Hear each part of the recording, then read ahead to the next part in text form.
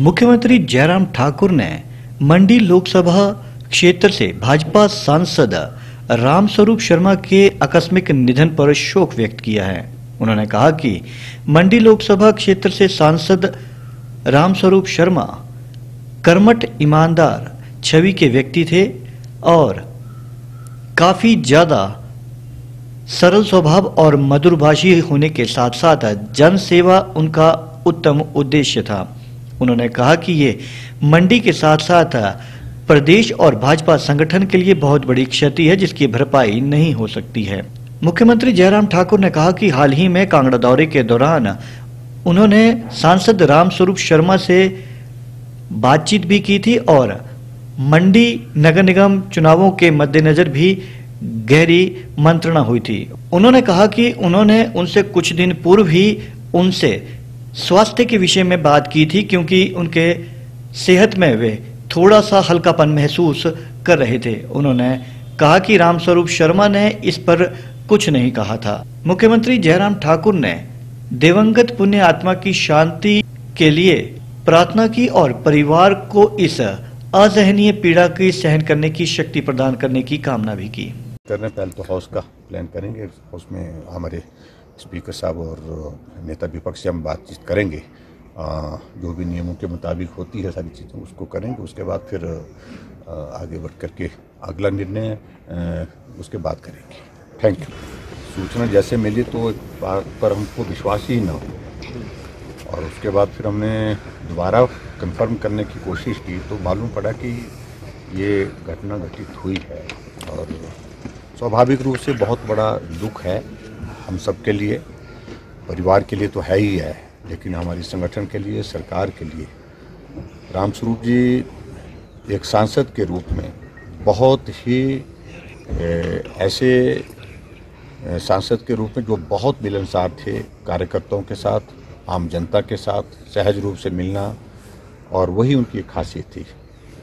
मंडी लोकसभा क्षेत्र से दो बार सांसद रहे और दोनों बार बहुत बड़े बहुमत के साथ जीते। और अभी तक के सबसे ज़्यादा मार्जिन से जीतने का चार लाख पाँच हज़ार जीतने का जो है जबकि मंडी से बड़े बड़े लोग भी चुनाव लड़े पूर्व मुख्यमंत्री चुनाव लड़े बड़े नेता चुनाव लड़े दोनों पार्टियों से। लेकिन सबसे बड़ा जीतने का अंतर रामस्वरूप जी का रहा है। और उसमें सबसे बड़ी जो कंट्रीब्यूशन उनकी जीत में वो एक सहजता सरलता लोगों से मिलने जुलने का और संगठन के लोगों के साथ संवाद अच्छा रखना वो उनके एक स्वभाव का हिस्सा था। और इस दुखद घटना से हम सब लोग विचलित हैं और ईश्वर उनकी आत्मा को शांति दे और इस उनके परिवार को इस दुख को सहन करने की शक्ति दे ऐसी मैं प्रार्थना करता हूँ। लेकिन बहुत बड़ी क्षति इस प्रदेश को हुई है आ, उनके इस निधन से। सर कोई पता चल पाया है अभी तक की वजह क्या है निधन की? अभी तक तो इस बात को लेकर के ज़्यादा कहना उचित नहीं है, जानकारी अभी तक नहीं मिल पाई है। इन्वेस्टिगेशन की प्रोसेस शुरू हो गई है। अभी उनकी बॉडी को वहाँ से, उनके निवास से रिमूव करके वहाँ ले, लेके चले गए हैं और पोस्टमार्टम की प्रक्रिया होगी। परिवार के सदस्य पहुँचने के बाद ही सारी आगे की कार्रवाई होगी।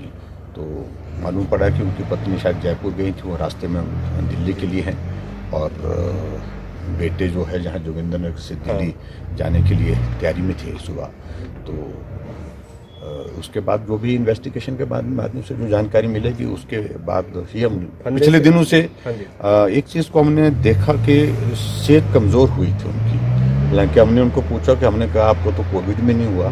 कोविड हालाँकि उनको नहीं हुआ था, लेकिन फिर भी उसके बाद वीकनेस थी। मुझे अभी कहने लगे, हम चार दिन पहले बैठक मैं फतेहपुर थे, कि बोलता, मौसम अच्छा आ गया तो सर्दी के मौसम में थोड़ा मैंने अब की बार परहेज भी रखा खाने वगैरह का, और अब तो सब ठीक हो जाएगा तभी ठीक हो जाएगी, बोलते तो ऐसा, सारी बातें, चर्चा हुई, मंडी के कॉरपोरेशन के लिए कहा कि मैं वहीं डेरा लगाऊँगा, वहीं बैठूँगा, वहीं काम करूँगा।